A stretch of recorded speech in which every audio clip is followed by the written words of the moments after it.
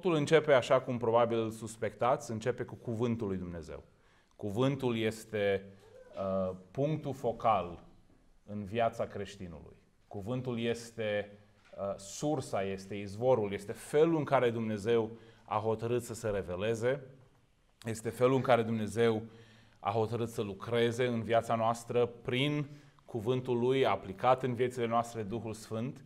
Uh, toată lucrarea lui Dumnezeu în noi este lucrată prin cuvânt. Acolo unde cuvântul este absent, este absent Dumnezeu, este absent Duhul lui Dumnezeu.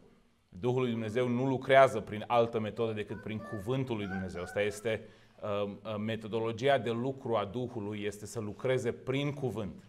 Este să lucreze prin cuvânt. Trebuie ca să citim și să ascultăm cuvântul lui Dumnezeu.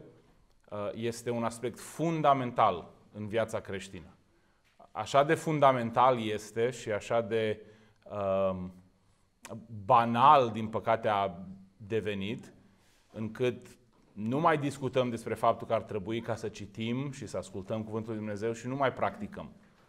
Pur și simplu presupunem că toți creștinii citesc Cuvântul lui Dumnezeu. Realitatea este că cei mai mulți creștini, între ghilimele, nu citesc din Cuvântul lui Dumnezeu.